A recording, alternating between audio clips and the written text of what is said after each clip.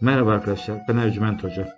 Bugünkü yapacağımız işlem huzur getirmesi için yapılacak olan bir işlemdir.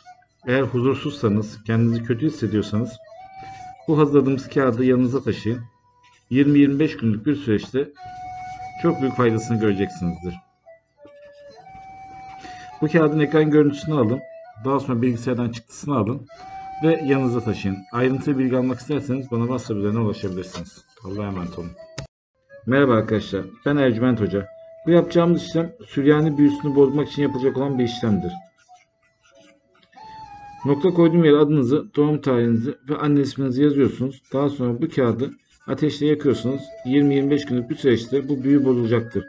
Bu kağıdın ekran görüntüsünü alın. Daha sonra bilgisayar çıktısını alın. Dediklerimi yapın. Eğer ki ayrıntılı bilgi almak için de bana WhatsApp üzerinden ulaşabilirsiniz.